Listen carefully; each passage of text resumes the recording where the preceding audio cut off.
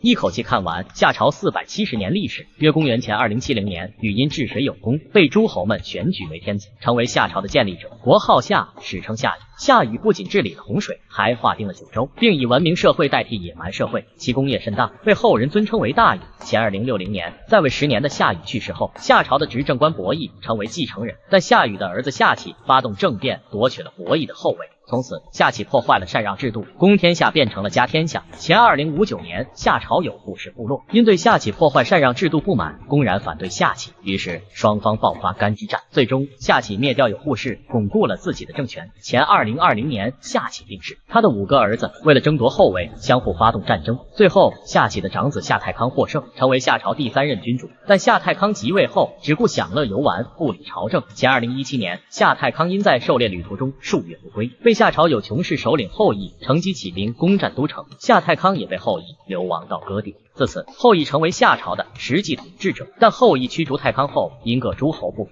不得已立太康的弟弟中康为后。前二零一零年，夏中康因不甘心做傀儡，与后羿爆发战争，但终因实力薄弱，被后羿击败。夏中康也郁郁而终。同年，其子夏相被后羿拥立为夏后。前一九八二年，后羿发动政变，将夏相驱逐。篡夺了夏国的后位，史称后羿代夏。夏相被迫流亡到真寻，但后羿即位后和夏太康一样，只顾四处打猎，并将国事交于亲信韩卓打。前一九七四年，韩卓发动政变，将后羿杀害后。自立为王，并改国号为韩。前一九四六年，韩卓发兵消灭了偏安在真寻的夏相，此战夏相及其族人全部被韩卓杀害。至此，夏朝正式亡国。但韩卓万万没想到，夏相以怀孕的妃子装扮成农妇逃回了母家，并在次年生下了夏少康。前一九二零年，韩卓在位后期逐渐骄奢淫逸，不理政事。同年，夏相之子夏少康在夏朝遗臣的帮助下，组成复国大军，正式向韩国宣战。前一九一五年，夏少康率复国军。因为韩卓的老巢寻都城，此时已经八十多岁的韩卓无力征战，最终韩卓被部下擒获，献给了夏少康。夏少康将韩卓一族全部斩杀，自此夏少康恢复了夏朝的统治。夏少康复国后，勤政爱民。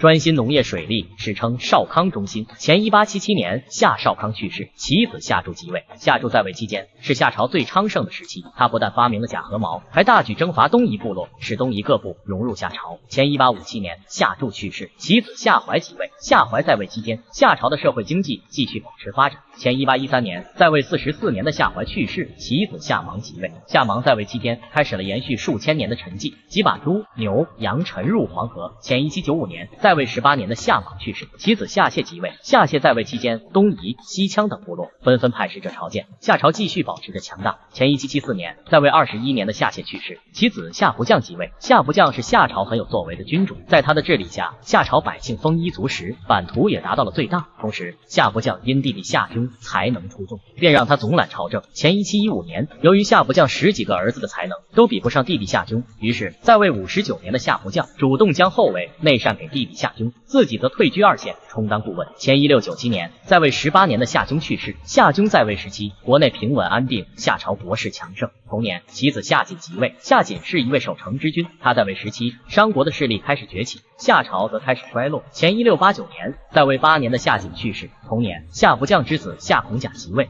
夏孔甲是一位胡作非为的残暴昏君，他在位期间，夏朝的国势更加衰落。前一六八零年，在位九年的夏孔甲去世，其子夏高即位。夏高在位期间，勤于政治，发展农业，努力挽回夏朝的颓势。前一六六九年，在位十一年的夏高去世，其子夏发即位。夏发在位期间，破格提拔了养马的关龙庞为将，关龙庞不负众望，把夏朝治理的井井有条。前一六五二年，在位十七年的夏发去世，其子夏桀即位。夏桀在位期间，残暴无道。刚愎自用，整日与莫喜饮酒作乐。大臣关龙庞看到后，以死劝谏，却被夏桀杀害。前一六零六年，商国首领商汤在景博宣告夏桀的罪行后，正式兴兵伐夏。约公元前一六零零年，商汤在鸣条之战中大败夏军，夏桀战败后逃奔南朝而死。自此，享国约四百七十年，传十七后的夏朝灭亡。